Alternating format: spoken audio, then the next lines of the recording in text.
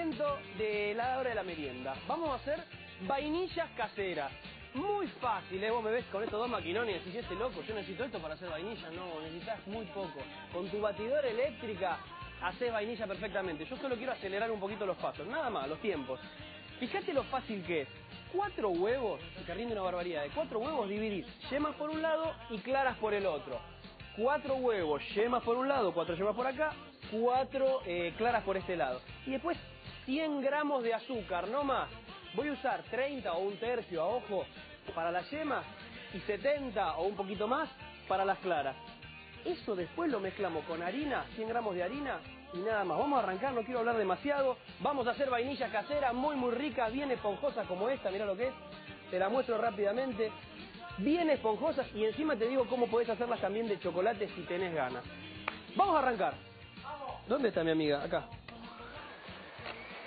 A batir, a batir, a batir. Insisto, no es que estoy utilizando estas maquinolas porque si no, no te sale, sino porque quiero hacerlo más rápido. Lo que tenemos que hacer con las yemas, si vos no me llegás a escuchar, me decís, me pegás un grito de tu casa y yo te grito, ¿eh? Es agregarle un tercio de azúcar. Acordate que el azúcar eran 100 gramos, cuatro yemas, y se las agregás simplemente para que queden bien paliditas, bien blanquitas.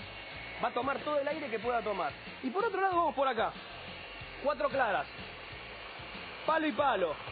Que se espumen bien. Cuando se espumaron bien, cuando empiezan a generar de a poquito, este, cuando se ponen bien blancas, le vamos a agregar los dos tercios que quedaban de azúcar. Acordate, 100 gramos de azúcar, acá habrán alrededor de 70, un poquito más. ¿Se escucha algo del otro lado? ¿Se escucha? ¿Cómo anda, Gladys? Bien. ¿Bien? ¿Me quedo acá de este lado? Dale. ¿A esta altura te parece bien? Gladys, querida. Bueno, mirá, te quiero mostrar algo. ¿Ves que ya el toque acá se empieza a poner bien blanco? ¿Se ve bien? ¿Se alcanza a ver? Ah, gracias, Tato. Y ahí voy poniendo el azúcar. No es un merengue, no te van a, a quedar como un merengue súper firme, brillante. Va a quedar firme, pero tampoco lo tenés que pasar de batido porque si no se te termina pasando y se te termina cayendo. Eso prácticamente es todo. Ahora lo único que nos queda es unirlo con 100 gramos de harina. Repito para que te quede bien claro. Mirá cómo se va poniendo palidita la, yema. Ya casi estamos, ¿eh? Ah, una cosa, vos en tu casa, vos decís, necesito dos máquinas, no. Agarrás la batidora eléctrica, primero le das a las, a las yemas y cuando las tenés bien pálidas, limpiás bien los batidores y batís las claras. Cuatro huevos, yemas por un lado, claras por el otro, 100 de azúcar, un tercio a las yemas, dos tercios a ojo, ¿eh? A las claras. Cuando tenés todo esto bien montadito, se unen con 100 de harina. Nada más. Algo importante, para darle saborcito a las vainillas, ¿qué vas a usar? Una muy buena esencia de vainilla. Cocineros argentinos, utiliza la línea de aderezos Dos Anclas. Dos Anclas, da vida al sabor de tus comidas. Ahí va, muchísimas gracias, dos anclas. Si ustedes no me escuchan, me gritan, ¿eh? Se lo pongo a las, a, la- a las yemas, eso te iba a decir, se lo pongo a las yemas. Ahí va, esto ya casi que está. Eh, es necesario que se vayan las lanchas.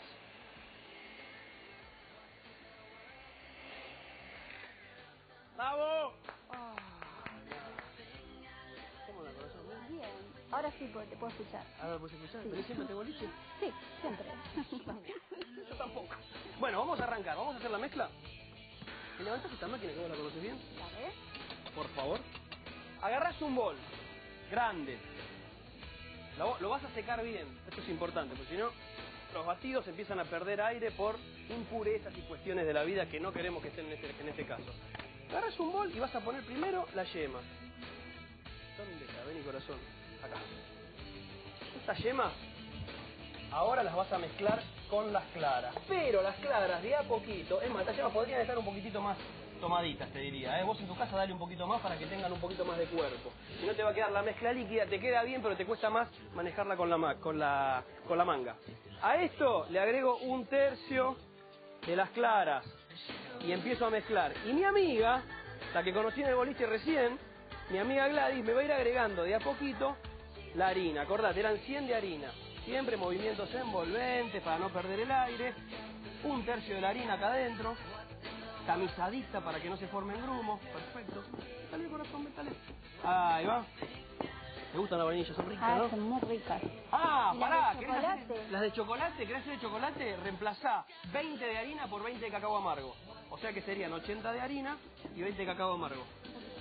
Ahí va. Vamos con otro tercio. Venga acá, mira cómo está.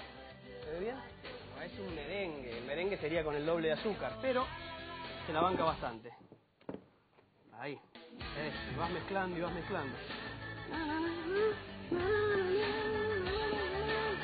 Era de mi época esto, ¿eh? Sí, ¿no? ¿No? Ahí va. Te quiero decir algo. ¿Vos solés hacer esto en tu casa?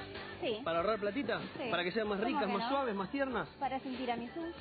Para hacer tiramisú, me diste una idea. El jueves, el jueves, puede ser el jueves. La guardamos. ¿Me permitís que la haga el jueves el tiramisú? ¿Cómo El jueves te estoy haciendo el tiramisú clásico con estas vainillas. Que nunca la, siempre usamos vainilla comprada. Por supuesto que la puedo hacer con vainilla comprada, pero estas son buenísimas. Aparte son baratitas. Ahorra platita, ahorra platita. Un día hasta te puedo enseñar a hacer mascarpones si querés. Ahí no ahorras tanto, pero te das el gusto de hacerlo casero. Ahí va. Ya, ya metimos todo, casi sí. Sí. Bueno, fíjate que en tres, en tres veces más o menos fuimos intercalando harina y claras batidas. Harina y claras Se batidas. termina con claras. Se termina siempre con claras. Muy bien, es- me, encantó el, el- el dato. Siempre, regla general, se termina con claras. ¿Para qué? Para que cuando vos vas a incor- Porque si terminás con harina, se te cae un poquito el batido y nosotros no queremos que se caiga. ¿Cómo vamos a armar estas vainillas? Qué lindo que sos. ¿Tan rica, Pepo? ¿Tan rica? ¡Habla, culebra! Es mi amigo, mi amigo del alma, por eso le digo culebra. No dijo nada. Bueno, está bien, parece que le gustaron. Bueno, fíjate, siempre movimientos envol- envolventes, del centro hacia afuera, giro y vuelvo. Si yo le doy, le doy, le doy, le doy, le doy, le doy, le doy, ¿qué pasa? Se empieza a poner medio líquido este, este batido. Y después te cuesta más manejarlo con la manga. Eso es todo, ¿eh? Ya está. Esto a la mangueta. No tenés manga, agarrás un sachet de leche que hayas usado y lo pones ahí adentro. Primero lavalo bien para, y, secalo. Le haces un agujerito y lo utilizás de manga. Ahí va. ¿Cómo hacemos para darle la formita? ¿Cómo hacemos, Cala? ¿Qué sé yo cómo hacemos? No, es fácil, es fácil. Me imagino que Lo ustedes deben saber, máquina, ¿no? lo ponemos en una máquina, le pones una manga Claro. y le hacemos un corte. Corte de... Qué malo el chiste, ¿no? Un corte de manga. Ay, caí tarde, caí tarde. Porque estoy con el tema del reloj ese de arena. Pero ¿vio que- bien, Cala. Una, una ¿Eh? flor de tortilla babé me gustó. Ah, sí. A mí me Sí, gustó. sí, sí, sí. Babé jugosita, rica. Me permite decirle a todo el mundo que está ahí. A vos, que estás del otro lado. Dios, Cada día son más nuestros amigos que tienen la posibilidad de rever este programa y todos los de cocineros argentinos simplemente eh, entrando en el paraíso. ¿Y esto donde es? www.cocinerosargentinos.com. Ahí, ahí tiene todo, tipo tarde, a las 4 o 5 de la tarde. Qué lindo sí, que está todo eso ¿eh? lo meten ahí. Es Está terrible, linda, es te metes ahí no salís más, te metes no a las salís 3 de la tarde, salís a las 12 de la noche. ¿Cuántas hay? Miles de recetas. Me encanta, ¿eh? me encanta. Miles de... Sí, paso sí, a paso, videos, recomendaciones, datos saludables. Está piola, ¿eh? Me Muy gusta. bueno, bueno, ¿eh? Da gusto. Informe, últimamente han puesto, han subido un informe acerca de la alimentación para los celíacos. Importante. Realmente interesante, realmente importante y realmente recomendable. Así que metete www.cocinosargentinos.com. Ahí va. Señor Vainilla. ¿Cómo se tiramisú le parece? ¿Sí? ¿Te gusta como postre? Sí. Me toca el postre. Dele, dele. ¿Con dele. esta vainillita? Por, por Eh, favor. Ah, pero vas a tener que sacar algunas. Sí, ¿eh? sí, sí, vamos a rescatar porque ya está ahí, está- estuvo el otro ahí dando vueltas com- comiendo. Eh, placa, un poco en mantecada, papel manteca arriba y más manteca por arriba del papel manteca. ¿Se entendió, no? Sí. A esto le vamos a hacer unas tiras, pero las tiras tienen que ser más o menos de 8 centímetros, como te salga, como vos quieras. Pero apretás y cuando ves que se pone más o menos gordita, vas para este lado. Ahí. Son vainillas artesanales. Artesanalísimas. A mano y a la medida. Esto ahora parece chiquitito, pero después se ensanchan, se inflan y se estiran, todos juntos. Ah, mire usted. Bueno, no se estiran Qué tanto. afortunada la vainilla. No, no, no. no. Crecen, No, Juanito, no, crecen. No se estiran tanto, no se estiran tanto.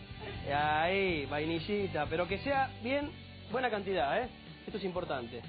¿Ves? Quedate un cachito ahí y ahí vas para atrás. Y la manga más o menos tiene un pico lógico que lo cortaste. Un centímetro pero- más o menos. Un centímetro Un más o menos de diámetro. Sí. Yo no soy un gran manguero, se lo tengo que decir. ¿eh? No, no, yo la verdad confieso nunca me tiro la manga, ¿eh? Nunca, de, años. de pagar en general. pero Jamás bueno. me ha tirado la manga. No, no como otros que se ríen por ahí afuera. Este- Típicos mangueros, sí. Pero bueno, esto es un tema de práctica.